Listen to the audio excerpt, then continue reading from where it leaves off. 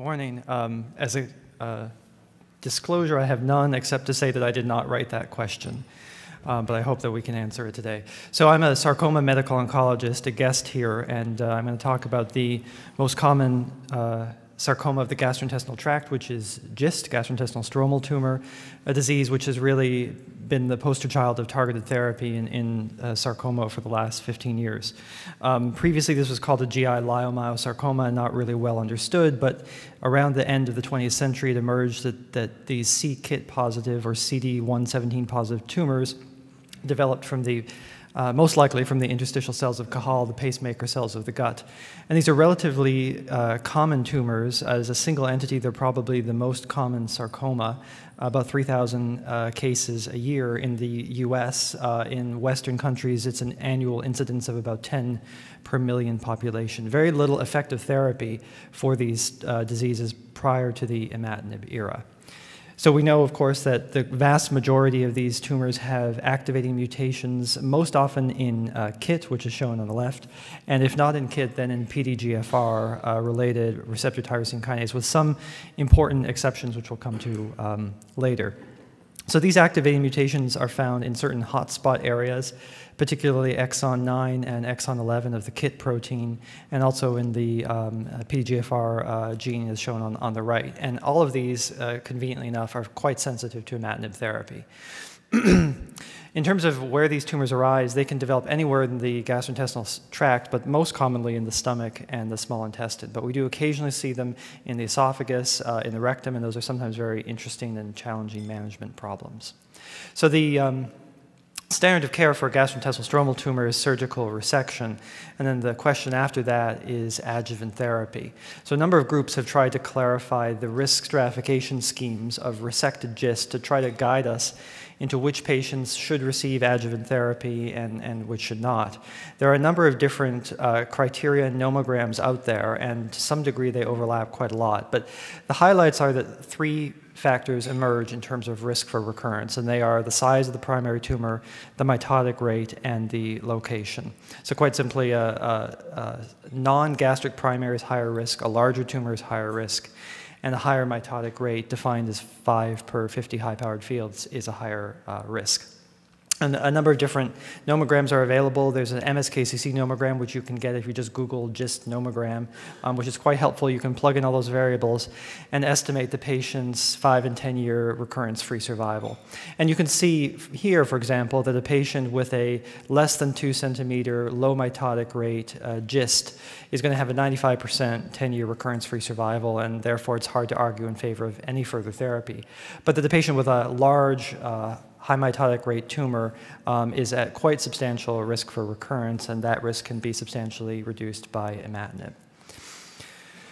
Um, and imatinib is um, very effective at targeting these uh, mutations in uh, the KIT tyrosine kinase. Um, the uh, initial study, um, which was really the uh, pioneering work from Lancet 2004 uh, demonstrated the activity of imatinib in patients with metastatic disease. So I'm going to talk first about the treatment of, of, metastatic GIST, and then we'll move into the adjuvant setting. So in the initial study, there was um, a randomization between 400 and 800 milligrams of, ad, of, um, of uh, imatinib.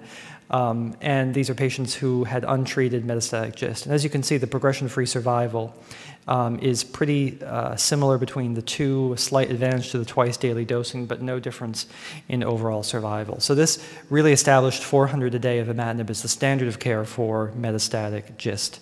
Um, note that green curve on the right, doxorubicin. So this is considered a chemo insensitive disease, but in the pre-imatinib era in the 1980s and 90s, that's all there was.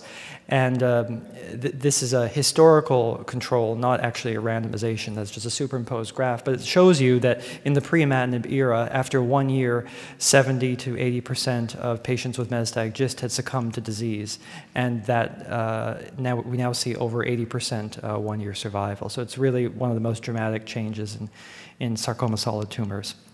There is a hint that, that the exon mutation matters in terms of your response to, um, to imatinib, and, and in particular, it seems that exon 9 mutations are somewhat less sensitive to imatinib than exon 11, and some authorities think that patients who have exon 9 mutations may benefit from higher doses of imatinib.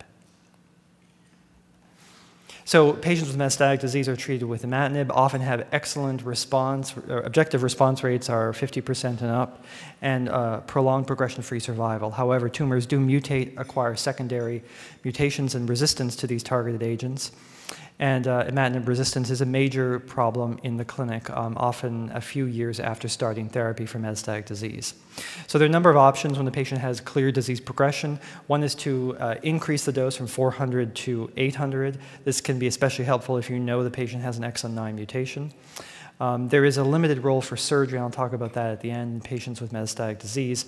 But sunitinib, or Sutent, has been the, established now as the uh, second line standard of care for patients with imatinib resistant disease and was FDA approved in 2006. So this is the a definitive registration trial for sunitinib in imatinib-resistant GIST. These are patients who are progressing on imatinib, and 300 were randomized two to one in favor of sunitinib. This is actually, by sarcoma standards, an extremely large study. This is a rare disease, only 3,000 cases a year, so this is quite an achievement to get this many patients on. And there was crossover at progression. Notice the dose. This is what's also used in renal cell carcinoma, which is 50 milligrams a day for four weeks every six. So these are the results in terms of response rate. And in percentage, uh, notice the response to sunitinib was 7%. So this is not a treatment associated with a high response rate in refractory GIST. However, a substantial proportion of patients did have uh, stable disease, uh, more than with placebo. Um, and this is what the progression-free survival curve looks like. So it has that typical stairway progression. Patients are scanned roughly every six weeks, and every interval scan, a, a substantial proportion of them uh, are found to have progressive disease. And you can see that the median um, progression-free survival on placebo is about one scan or six weeks, which gives you a sense of how uh, aggressive the natural course is of metastatic GIST when the patient is not being treated with a tyrosine kinase inhibitor. And you can see that progression-free survival was substantially prolonged with sunitinib, median of, of 27 weeks, which is better, but not great. And you can see that ultimately, at least in these, this study, by a year, almost all patients have progressed. So I think the take home here is that sunitinib is an important palliative uh, for metastatic progressive GIST, that responses are rare and should not be expected. You should counsel patients that what you're hoping for is stable disease, hopefully for a, a good period of months. So this established uh, Sutent standard of care, as I mentioned already. Um, most uh, sarcoma physicians usually prefer, I think, 37.5 milligrams a day of uh, continuous daily dosing with the idea that you're continuously hitting the tyrosine kinase um, and effectively blocking that oncogene. Uh, this has not, however, been uh, uh, tested with randomized data. It has been tested and found inferior in kidney cancer. And then the third drug, um, familiar to this audience, I'm sure, is regorafenib, um, which was approved uh, in 2012 in the third line. So this is a similar group of investigators and a very similar study design, except we're now talking third line. Patients have progressed on imatinib and on sunitinib and are randomized to uh, regorafenib versus placebo. Uh, here is the response rate, again, very low, 4.5% response rate with regorafenib. Interesting, 1.5% response with placebo. Um, stable disease in 71% of patients. Um, and another variable to look at this is disease control rates of patients who achieve stable disease for at least 12 weeks. Um, about half will do so with regorafenib and less than 10% will with placebo. And you see again a very striking difference in progression-free survival with pretty dismal outcomes in patients on placebo. So again, this points out that patients who are progressing on um, tyrosine kinase inhibitor do very poorly when on a study with placebo. In fact, the Koreans have since done a study asking the question, should a patient with progressive GIST be maintained on some tyrosine kinase inhibitor, or should you just stop? And in fact, it's better to stay on imatinib than to stop cold turkey because the disease can just be explosive after this. So this is probably the last randomized study that will ever be done with a placebo control arm. I think most people think that even in progressive disease, patients should be on some sort of tyrosine kinase uh, inhibitor in the palliative setting.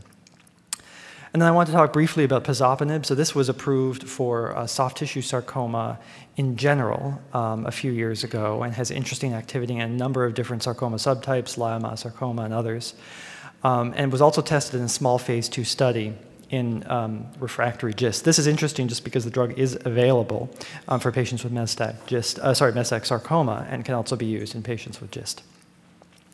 And here is the result of this study. Again, this is a heavily pretreated population, so you're, you're not expecting uh, dramatic curves, but the median progression-free survival here was a little under two months. There was no control arm in this small 25-patient uh, study. So a hint of activity and may be useful.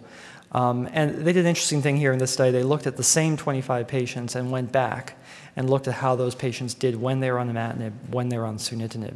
And I think you would predict these results, but it's nice to see it um, on, on, paper. And that is that with imatinib, they did very well. You always get the most um, bang for the buck from the first line therapy. With second line therapy, with sunitinib, it was about seven months, and with pazopanib, about 1.5 months. But the occasional patient may see some benefit. So that's wrapping up briefly the treatment of metastatic disease. Of course, a lot of clinical trials are ongoing to find new agents for patients with acquired resistance. But now I'll talk about um, adjuvant therapy. So with the uh, remarkable effects in metastatic disease, imatinib was moved into the adjuvant setting. And the uh, first trial which uh, assessed this was a uh, uh, intergroup study which compared one year of imatinib, 400 a day, versus placebo in patients with GIST defined as a certain risk of recurrence, in this case greater than three centimeters. And you can see here that there is substantial um, improvement in recurrence-free survival in patients with imatinib. Look at the x-axis. You can see that at 12 months, which is the duration of imatinib therapy, the progression-free survival, recurrence-free survival on the treatment arm is virtually 100%. Almost no one will have a relapse while they're taking imatinib. But you notice that once you stop imatinib at month 12, the curve starts to dip again, and the slope of that curve looks very much like the slope of the placebo curve, just shifted a year to the right. So this suggested that patients were having microscopic metastatic disease suppressed but not eliminated by imatinib, and that the moment you stop, the recurrences started to happen again. So the next logical step was to say, well, if one year is good, maybe three is better. And that was the next study done um, by the Scandinavian Sarcoma Group, again, a large randomized study. And it noted a substantial improvement in relapse free survival in patients who receive um, a longer course of, of imatinib.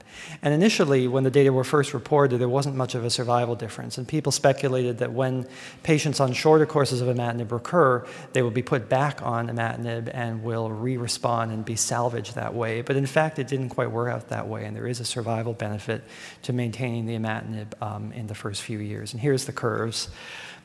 shown um, on the left, the recurrence-free survival. And again, you note that there are very few recurrences, although up to three years there are some in patients who receive adjuvant imatinib. But once it stops at year three, you can see that that curve drops down in a slope remarkably similar to the 12-month curve. So this established uh, three years of adjuvant imatinib as the standard of care. NCCN guidelines recommend at least three years. European guidelines recommend three years and then stop. Uh, the FDA has approved uh, imatinib for adjuvant therapy, but has not given any indication on the optimal duration.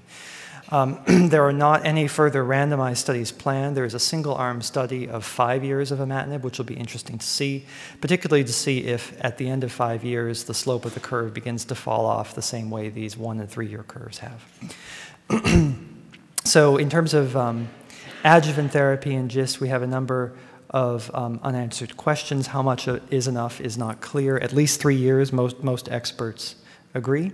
Um, the um, role, uh, and I was going to also say that if, if the patient is tolerating well without toxicity, and if the patient is at substantial risk of recurrence, say a large high-grade small bowel uh, GIST, uh, most of us at three years will just keep going um, because we know that the risk of recurrence is so high after you stop.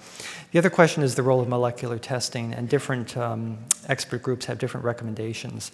But it probably does not change first, second, or third line standard of care. It is interesting to know if patients have rare variants like PDGFR, uh, D842V mutations, which are resistant to all existing TKIs. It is interesting to identify patients for appropriate clinical trials since drugs are being developed to target exon 13, exon 17, other KIT mutations. The, the um, treatment of wild type GIST is another interesting subject. So, of course, they're not really wild type. They have mutations in other genes um, other than um, KIT and PGFR. And those genes include RAS occasionally, uh, BRAF, case reports of responses to BRAF inhibitors, um, and uh, also uh, succinyl dehydrogenase loss, especially in um, pediatric GIST. So that's another very interesting area of research, but that's a very small uh, slice of the uh, patient population. Um, patients who have multifocal metastatic disease are sometimes considered for uh, surgery to resect metastases in the peritoneum and in the liver. Um, there's no prospective randomized data to guide us, but retrospective series suggest a couple of things. One is that patients that have multifocal progressive GIST while on tyrosine kinase inhibitor will probably not do well with surgery um, and will have very short uh, progression-free survival. Patients with disease that's under control with TKI therapy may benefit from a so-called debulking surgery to resect potential um, uh, uh, resistant clones. And patients who have most of the disease under control, but a couple of progressing lesions do somewhere in the middle, which you might expect. That is all from retrospective series. The data also suggests that such operations are probably best performed in high volume centers of expertise. Um, neoadjuvant therapy is, is, interesting. So an untreated GIST is going to have a greater than 50% response rate to imatinib therapy. So it's a very reasonable option to consider neoadjuvant therapy in patients with GISTs in difficult locations, particularly patients who have uh, rectal GISTs where the only surgery would be an APR. Often they can be um, downstage and have a sphincter sparing procedure. Uh, patients with esophageal GIST, uh, rare but not rare enough, um, can undergo neoadjuvant therapy and possibly undergo a less invasive um, uh, procedure. The optimal duration of neoadjuvant therapy is also not clear. Most people believe it's in the range of nine months. Uh, we usually treat until best response and then refer for surgery. Unfortunately, best response is usually only identified in the rearview mirror. Um, and that's basically all I have to say about adjuvant therapy of GIST, and happy to take questions.